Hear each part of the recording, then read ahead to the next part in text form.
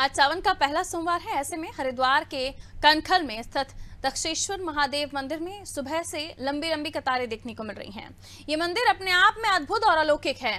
मंदिर में शिवलिंग, धरती लोक के साथ पाताल लोक में भी स्थित है। पौराणिक मान्यताओं के अनुसार राजा दक्ष के आग्रह पर महादेव ने कहा था कि इस जगह भगवान शिव को दक्षेश्वर महादेव के नाम से पूजा जाएगा और सावन का पूरा महीना भोलेनाथ कनखल स्थित दक्षेश्वर में ही वास करेंगे और सृष्टि का संचालन करेंगे। दक्ष प्रजापति मंदिर का एक विशेष महत्व है। सावन के महीने में ये शिव जी की ससुराल है। इसका एक विशेष महत्व बढ़ जाता है कि चार मास के लिए ये अधिक मास कहलाया जाता है, जो हर चार साल बाद आता है।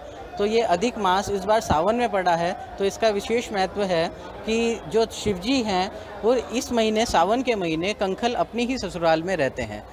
माता सती भी यहीं पर हुई हैं और कंखल से ही सारी, जितनी भी यहाँ के देवी देवता हैं, सब बिना दक्ष के, प्रजापति के आज्ञा के कोई कार्य नहीं होता। इसलिए दक्ष मंदिर सिद्ध है हरिद्वार।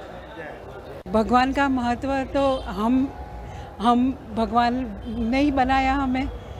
तो अब यहाँ यहाँ दर्शन करके इतने अच्छा लग रहा है यहाँ दर्शन करके कि जिसने सृष्टि को डिसिप्लिन में रखा है और सर्जनहार है और डिस्ट्रॉय डिस्ट्रॉय करने वाले भी हैं तो वही है, सब कुछ वही है।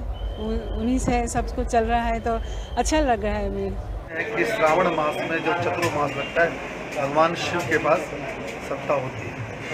तो जब भगवान शिव के पास सत्ता होती है तो चतुर्मास करने के लिए बहुत लोग से कोई इलाहाबाद जाता है, कोई हरिद्वार आता है, कोई प्रयागराज जाता है, कोई काशी जाता है, कोई कहीं जाता है। हर आदमी की एक अलग महत्व और महत्वाकांक्षा है। और उसी तरीके से कहा जाता है कि चतुर्मास देव सैनी एकादशी पर भगवान विष्णु सैन में चले जाते और भगवान शिव उड़ जाते उससे क्या होता है, भगवान शिव के हाथ में चार महीने की सत्ता आ जाती है।